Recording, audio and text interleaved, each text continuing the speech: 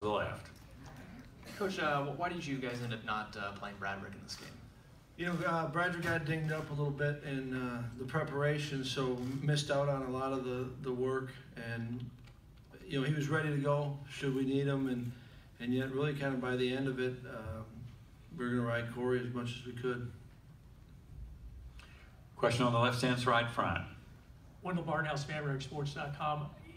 Particularly early in the game, you guys got out on the edge quite a bit, particularly with the jet sweep. First of all, what made that so effective, and was that something that you guys saw that maybe could kind of loosen things up?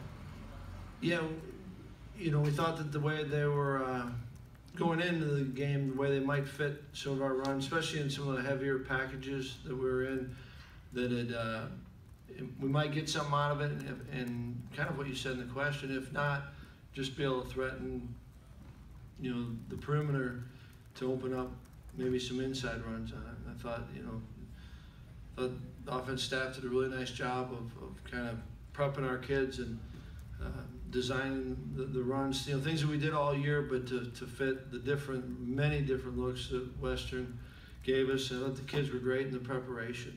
And, uh, you know, we, we didn't play a perfect game, but they did a lot of things to give us a chance. And, um, you know, certainly the early the, the jet sweeps were big. Question on the outside right. Coach Phil Woodall, Amarillo, Texas, KPR Radio. After early success with Corey Clement, they kind of shut him down after that uh, first couple of drives. What happened?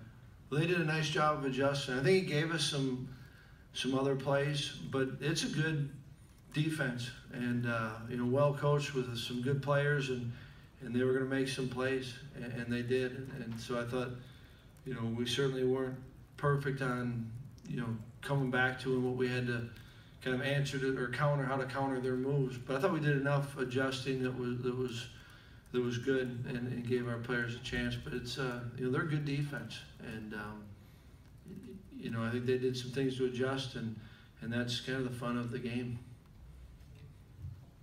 Got a question outside left, and I mean right, and then we'll do the middle. Coach Dave Michaels with the North Texas Sports Network. Western Michigan threw a little razzle dazzle in there, a little reverse, but it seems that the discipline of your defense was right there. They stuck with, their, with their men and didn't get kind of confused on it. Talk a little bit about the discipline that you have on your defensive side of the ball. I I think you're right on that, and I think the defense staff did a heck of a job preparing our players. And you know, Western's their offense, you you know, and preparing for it, watching their whole season, they can hurt you a number of different ways. And I thought that, you know, we, we certainly didn't play a perfect game, but guys did play disciplined. And when we didn't uh, make a play, we knew why. You, you know, we had to clean up, whether it's a guy getting into a gap or, or, or you know, finishing a stunt. But I think all year long, our, our, our defense done a nice job of playing, and I think they trust the plan and they trust themselves. And I think what else they do is they trust the guy next to them, so they don't try to overcompensate. And uh, I think it came up with a number of big plays. You know, we got the ball out, but we didn't get any, you know, the, the takeaways other than TJ's pick. And you know, Western done a nice job, but the guys, other guys competed. Question in the middle, Ben. Uh, Coach, kind of Ben Baby again with the morning news. Uh, kind of do a similar question with the run game. Um, do you feel like it was important to establish that run early so Bart would have those windows to pass the ball uh, later on? Because it seemed like they were stacking the box after that first quarter. Yeah, I think that was, you know, we thought that we had some runs that we could get on them, and, and then you want to see how they adjust. And when they do, like you say, add another hat into the box, then you've got to be able to do some things in the passing game or, like we were talking about earlier, you know, whether it's with a jet sweep. But they started doing a nice job of adjusting to it. Um, you know, but it did give, we thought it gave us some other uh, opportunities. And I thought guys, you know, made some plays. You know, that was big. Even the, the last drive, you know, that third down was a big completion. And uh, even finishing on the, on, you know, the run by Ram, it uh, took a lot of guys. But they did a nice job of, of kind of countering what we were doing, and, and there was a bit of a chess match going on. Outside left.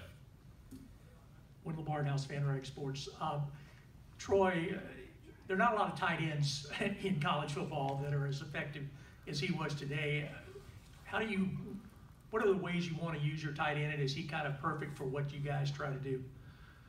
Yeah, I've been really fortunate. We've had a number of really good tight ends. uh, at Wisconsin, and and they're all different.